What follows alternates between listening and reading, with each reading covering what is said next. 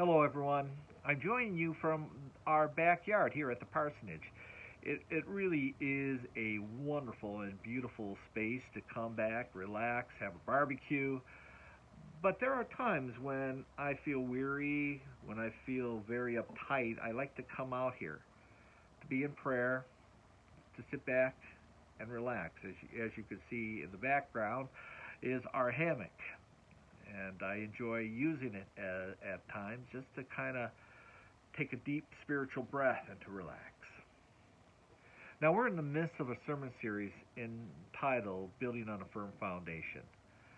And in building on that firm foundation, we are exploring and looking at the words of Jesus in the Sermon on the Mount. And we're looking at how we can apply those important words that, that message of the kingdom and bring it into our sphere, into our living, and into our lives. This week we're going to talk about worry.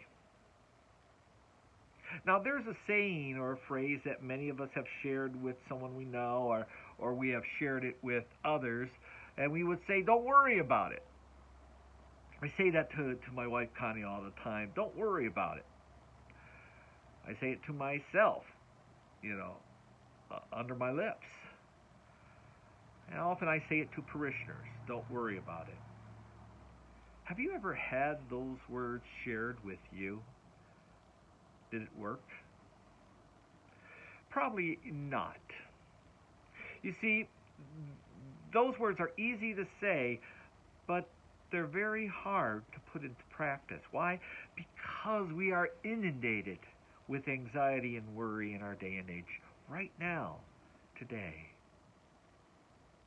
The knowledgeable, they worry about about it because they're afraid they may know too much. The ignorant worry because they don't know enough.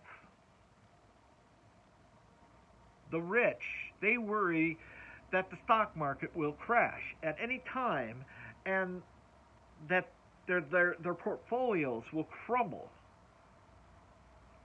The Poor worry that they don't have enough. The old worry about death and the young, they worry about facing life. There's the worry about our COVID-19 virus and whether or not whether or not it will affect us. There is the worry about our political and sectarian divisions that's destroying right now our political discourse. And there is the worry about our climate, about climate change. As we watch the fires on the west coast of our country burn out of control, we are worried, we are anxious, we are fearful. And oftentimes that, that worry and that fear becomes the defining mark in our lives because we end up constantly living with this black cloud over our head with this feeling of dread that something else is going to happen. Again, I suppose I can make that list go on and on. And you probably have some some worries on your own personal list. But we want to look at what Jesus said about worry. Jesus wasn't telling his hearers or us not to be concerned. There's a difference between being concerned, being prudent, being prepared. There's a difference between that and anxiety, worry, and total fear. We can't, we're not called to place our heads in the sand. But what Jesus was telling everyone, and he tells us today, is again, don't allow worry and anxiety be an integral part of your life where it clouds your decision making, where it clouds your relationships with others, where it clouds your relationship with God in essence, what Jesus said in verse uh, 25 of chapter 6. He said, Therefore I tell you, do not worry about your life, what you will eat, or what you will drink, or about your body, what you will wear. Even these are the things that the Gentiles worry about. But isn't life more than food? Isn't the body more than clothing? Know ye a little faith? Think about that.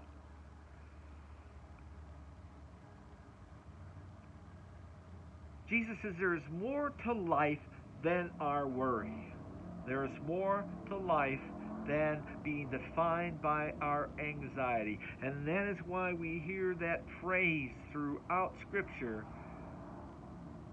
words coming from the angels, from God. Be not afraid.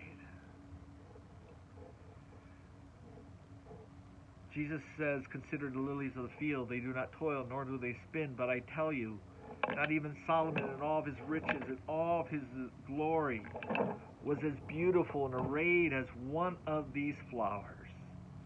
And if God so could, could clothe the grass of the field that's here today and gone tomorrow, think of how much God is going to clothe you. Amen to that. So, what Christ wants people to do is not to define who they are or their relationships by what they fear or the anxiety that is ruling their hearts. Again, worry plays a major role in our society today. It affects us not only mentally and spiritually, but it affects us physically too. There are so many illnesses that's tied into anxiety, that's tied into worry. Sometimes our worry can lead us to ulcers, high blood pressure, and also heart attacks. So, what I, I, want to invite you to try to do is to slow yourself down. As the sermon title says, don't worry be happy. A few years ago, um, the psychologist Richard Carlson wrote a best-selling book that that's entitled "Don't Sweat the Small Stuff." Now, sadly, Carlson died of a heart attack only at the age of 45. But he got the idea for his book one day while driving his six year old to school. And they got into rush hour traffic. They spent 40 minutes creeping along along the freeway. Then they sat in the car. And Carlson's daughter looked out of the window at the other cars and the other people creeping along. And finally she said this, Daddy, why are all the people so mad? Her statement caused Carlson to begin thinking about all those people who were stuck in traffic. And he realized they didn't have to be grim. They didn't have to be anxious. And he just came to to believe and to, to realize that in order to be happy, we need to shift our, our, our paradigm. We need to, to look at the fact that it is the simple things in life that brings us the most joy or should bring us happiness. And he realized that people were focused on so many other things on the trivial things of life that was bringing anxiety and and and fear and sometimes anger into the way they live. What about yourself? Do you sweat the small stuff? Does it take just a little thing to, to just allow you to explode? I think if we're all honest with ourselves, the answer would be yes. Because we have been struck, uh, uh, stuck in traffic. We have been having a, a bad day at work. And sometimes, though, that small stuff piles up. It piles up until we, it comes to a breaking point. But is there a way for us to let go of all those worries, of all those trials, of all those tribulations, and to lay them aside and give them to God? That's what Jesus was saying. Is that we have our priorities all whacked out we define our happiness slowly by, by all of the external things that are that's happening all around us rather than quieting ourselves and listening to that still small voice of God that reminds us of what truly is important. So what does Jesus want us to do? Well, Jesus wants us to slow down. To slow down. And to be mindful of our lives, of what truly is important. Have you ever been in a situation that in the midst of your busyness, in the midst of your work obligations, that you forgot about your family? You forgot about God? I, I believe if we're honest, the answer is yes. There have been times in my pastoral work that I get so preoccupied, so caught up in all of the external things and putting out fires and trying to keep everybody happy that I forgot what was truly important. And what's truly important is my relationship with God, with Christ, with my family, with my children, with my friends, and community. It, when we turn our thoughts over to God, to Christ, He gives us an opportunity to see what is important. So I want to invite you to think of these questions. And one of the things that what Jesus is asking us to do in this passage, to slow ourselves down, but to enter the world of mindfulness, to be mindful. Mindful again of what's important. Think of these questions. Are you healthy right now at this moment? Not yesterday or if you're going to be healthy in the future, but at this moment in time. Are you healthy? In this moment in time, do you have enough to live on? In this moment in time, are your children well? In this moment in time, do you have a, vocation, an occupation? In this moment in time, can you make a positive difference in someone else's life?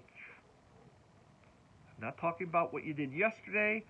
I'm not talking about worrying about tomorrow because what Jesus said, sufficient is today and its own worries, its own troubles, its own obligations. Tomorrow will take care of itself. So, what are you mindful of at this moment? We do that in prayer. We do it by slowing ourselves down and allowing the Holy Spirit to kind of calm our souls and maybe empty the monkey chatter in our head. That we can be mindful and grateful of what we have been given. And I think that is one of the important lessons that we learn is to practice a life of mindfulness. It's a time in which we give God this moment, not our worries and concerns. And when you give God this moment, God will reveal to you what life is all about. And those worries that once were tearing you apart inside will drift away. Now, I understand that many of us struggle with anxiety, and it's sometimes it's a medical condition, and you need to do what you need the doctor tells you to do. But there's a spiritual way to calm oneself and to put again our lives in their proper perspective. Are you willing to go on that journey? Another important thing we learn from this passage, and the one way we can defeat worry is that we do the right thing. Jesus again says, So do not worry about again what you will wear, what you will drink, what you will eat, what you will wear, for the Gentiles, the pagans, run after all of these things. And your Heavenly Father knows what you need even before you ask. But seek ye first. Here's the key in terms of righteousness. Seek ye first the kingdom of God and its righteousness, and everything will be added unto you. Amen to that. Everything else that God promises for you will be given to you.